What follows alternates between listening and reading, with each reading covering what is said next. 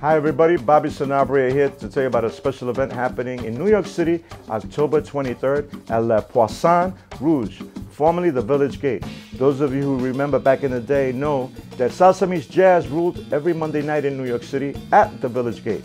We're going to invoke that again this coming October 23rd in a special mega concert entitled Salsa Jazz for Puerto Rico.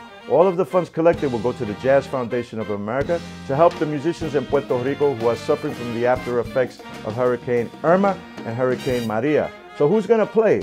Well, my multi-Grammy nominated Multiverse Big Band. Along with that, as guests with us, check this out.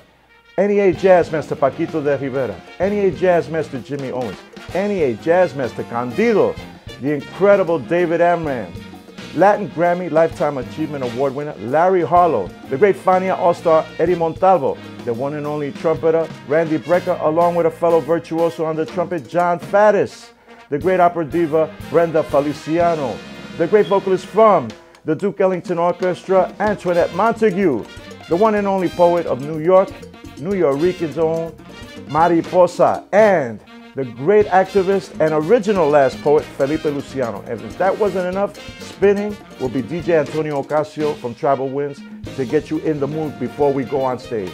And who's going to be co-hosting along with me? The one and only Joanne Jimenez. So get your tickets at lpr.org. Salsa meets jazz for Puerto Rico, October 23rd.